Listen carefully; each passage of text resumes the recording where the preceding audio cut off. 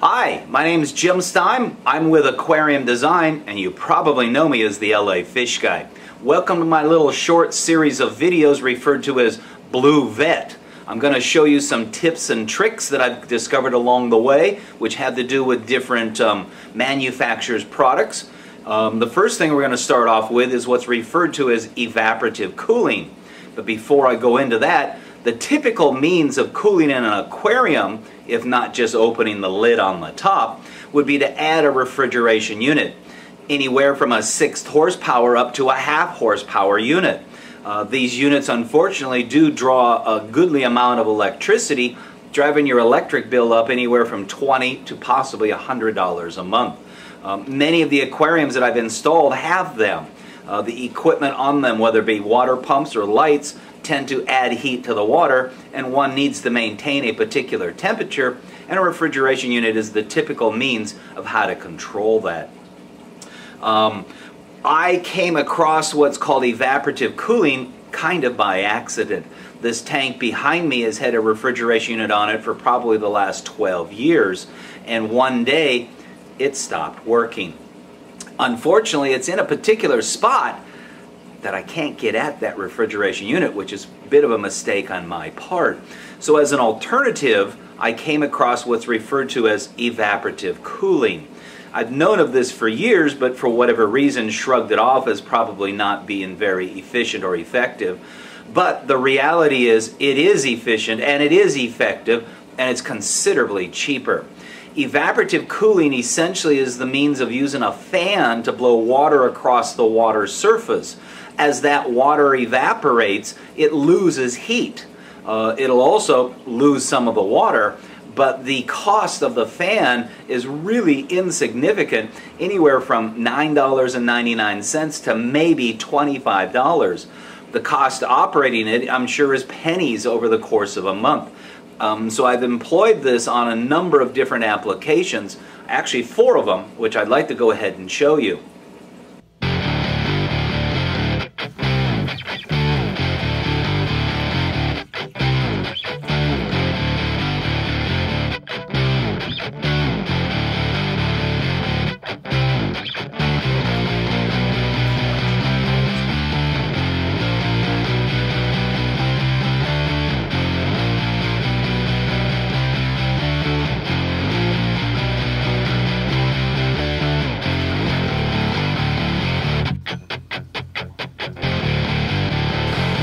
So let me start off first by showing you that's the refrigeration unit that's on the tank that we just saw. It sits back here, unfortunately behind this 100 gallon water container that holds the salt water that does the automated water changes for the tank inside the house. Now granted the plumbing does have union fittings and such on it, but I'd have to drain the tank, disconnect all those fittings and then pull that unit out of there and I just for whatever reason whether it be laziness or uh, whatever decided I didn't want to do that.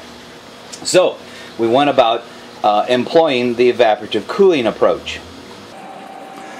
So down below the aquarium in the cabinet below is the sump um, for the reef system. You can see the red lights are part of the uh, hog algae scrubbers. Uh, there's a protein skimmer in there uh, there's all the equipment for the uh, Apex system, water pumps, etc. And there's this wooden rack, we'll call it, and that's what actually supports a $9.99 fan purchased from Target. And what that does is it simply just blows air down into the sump. And again, that, that movement of air will increase the amount of evaporation that occurs in there which in turn, as the water evaporates, it loses heat. Uh, and that's how we're able to drop the water temperature. This particular tank typically runs around 78 degrees, but in the summertime it can get a little bit warmer, pushing over 80 degrees. Um, this little fan more than capably controls the temperature set at 80 degrees.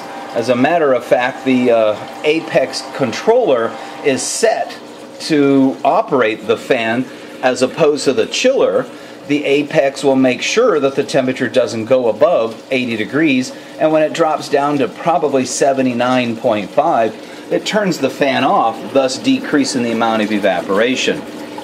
This tank is hooked up with float switches uh, that draw from a large reservoir of fresh water, so the evaporation is automatically compensated for by pumps that move water uh, from that reservoir inside the house uh, into the sump.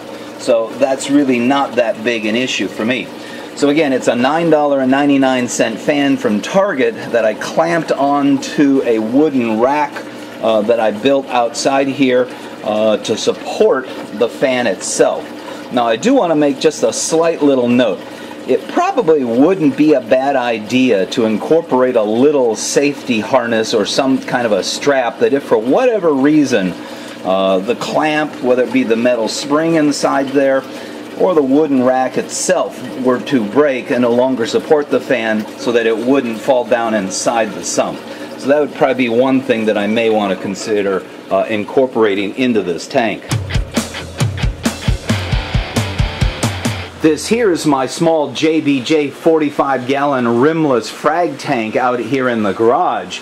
You wouldn't think that a small tank would have as big a, a heat issue, but in fact it does. Uh, the garage gets kind of warm during the summertime, and this tank does develop a little bit of a uh, temperature problem, peaking up around 82 degrees. Uh, as my little coral frag tank I didn't really want the temperature to go that high, so this tank having a filter compartment built into the back, um, we ended up just simply clamping on another of those um, desktop clamp-on fans that blows water across its surface.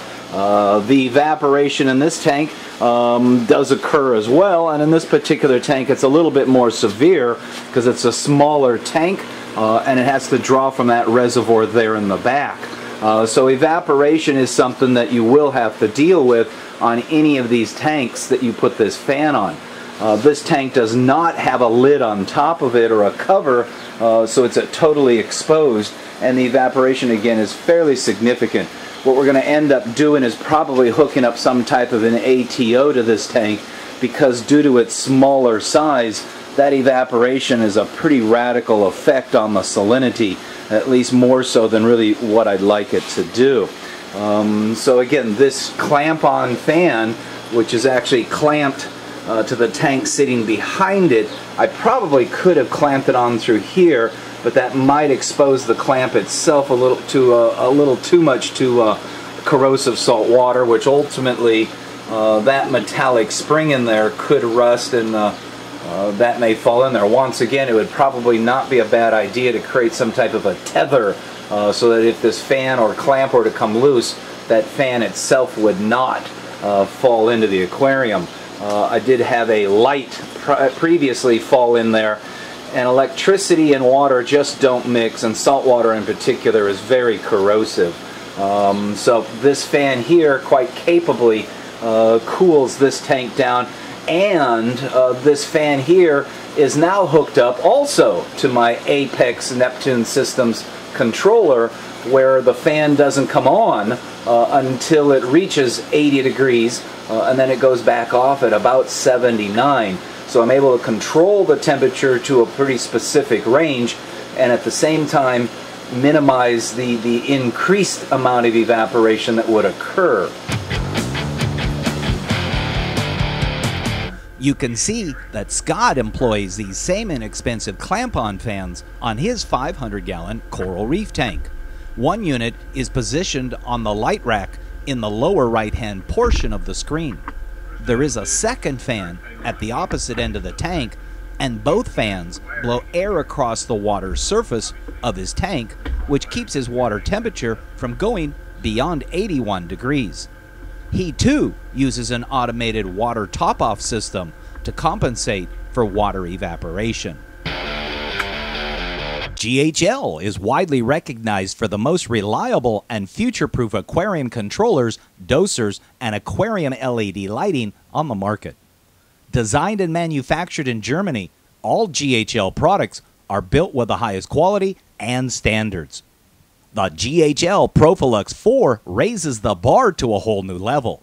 Featuring built in Wi Fi, the Profilux 4 can be connected to your network wirelessly and be monitored and controlled from anywhere. With integrated ports for temperature, pH, ORP, conductivity, you can monitor virtually anything. Built in expansion ports and optional flow sensors allow the Profilux 4 to scale to meet the needs of even the most advanced aquarium installations without the need for additional add on modules. The new GHL Doser 2.1 takes dosing to the extreme with integrated Wi Fi for wireless management. It includes inputs for level sensors, a temperature probe, and an output for a magnetic stirrer, making it an ideal solution for everything from dosing, automatic top off, automated water changes, and even automated feeding. The GHL Mitras are the most powerful and flexible LEDs in their class. The 7206's built in wireless control makes for fast and easy setup, while the GHL Light Composer allows users to easily set up their spectrum and lighting schedule. Six individual LED clusters provide the industry's best blending of LED channels while also providing the best spread. Nine channels of control allow you to tailor your lighting scheme to meet the needs of even the most difficult to keep corals while also bringing out colors in corals and fish that would otherwise remain unseen. All GHL products can be controlled via the GHL Control Center application as well as the MyGHL cloud interface, allowing for monitoring, control, and management from anywhere via an internet connection. The unique interface eliminates the need for coding while providing advanced programming functionality unrivaled by the competition. If you're looking for the best controllers, dosers, and lighting on the market, then GHL has a product to fit your needs. For more information, visit aquariumcomputer.com. Aquarium LED Mounts manufactures revolutionary articulating mounts for the most popular LED fixtures and pendants. Their unique patent pending design allows for full articulation of the light. You can rotate the fixture 360 degrees while also tilting it in any direction in order to maximize coverage while reducing shadowing and light bleed onto the viewing panels. They are designed to be used in conjunction with canopies, light racks, and light bars, but can also be adapted for use with light mount arms. The kit includes all the hardware needed to attach to your favorite LED fixtures. Aquarium LED Mounts offers articulating mounts for many popular fixtures, such as the GHL Mitras LX series, Kessil 350, Kessil 360, and AP700 fixtures, as well as EcoTech Radion, AI Hydra 52, and AI Sol fixtures. Custom mounting adapters for other fixtures can be produced upon request. For more information, check out aquariumledmounts.com. Hi there, my name's Jim Stime and you know me as the LA Fish Guy. Well, I also wear a couple of other hats. One of them is the jellyfish tank called the Jelly Aquarium, and the third is myfishtank.com.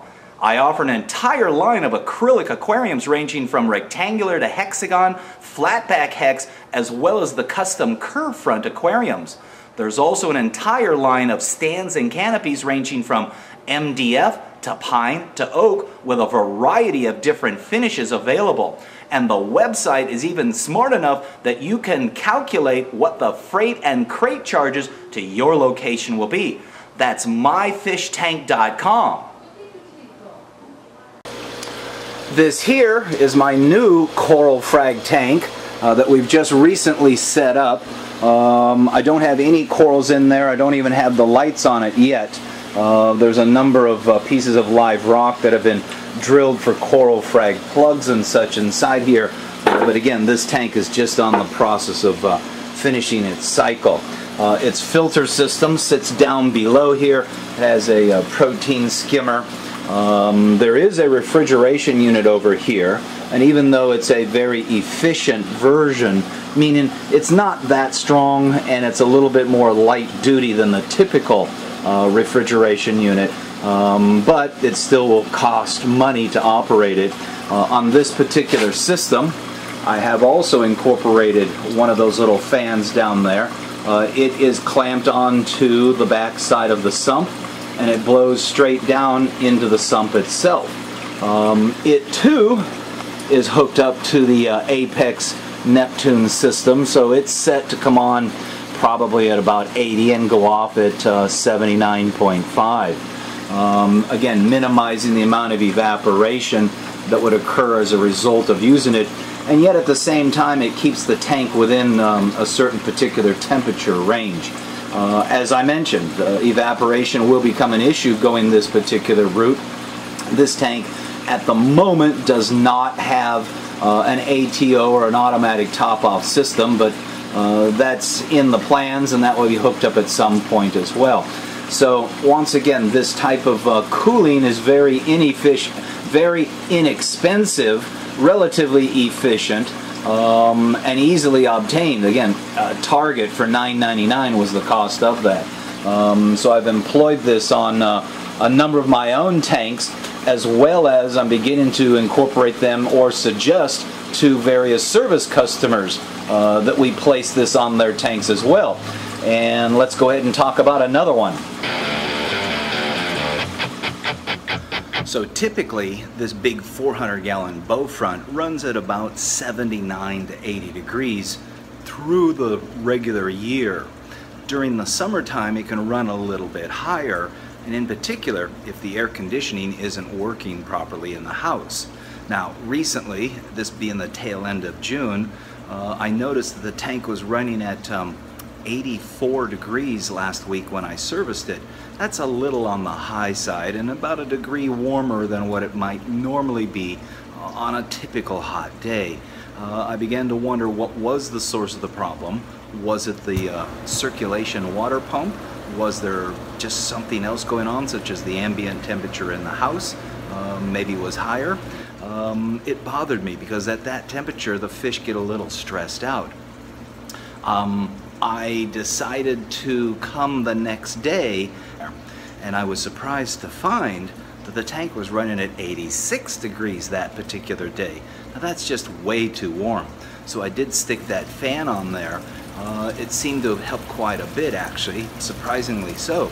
Uh, it's now brought the temperature down to 81 degrees and I know today uh, I don't feel the air conditioning working in the house and granted it might be a little bit warmer outside or a little bit cooler outside um, I still think the fan uh, is having a significant benefit on there. I will tell you though that the evaporation on the tank has increased. I've already had to add five gallons and I'm getting ready to add an additional five more gallons of fresh water to compensate for the amount of evaporation that occurred here in the last week. And as it turns out, the five gallons that I currently put in there brings it up within a half inch of the water fill or the running water level line. So if I was to put another five gallons in, it would end up ultimately being too much. So I now have a backup here that I'll place down in the garage uh, that I'll have available for the next time. But I should plan on every week replacing at least five gallons of evaporated water. And so as you can see, that fan is just simply clamped on to the end of the sump down there. Uh, it was purchased from Target for $9.99. So it's a very cost-effective source, especially if the chiller unit isn't helping the situation out. And so there you go. Evaporative cooling, very efficient, very inexpensive to obtain, and very inexpensive to operate. Stay tuned as I provide more little insights, tips, and tricks, whether it be um, products that you can use for solving problems or just little inexpensive alternatives to other normal approaches. Until then, keep moving forward.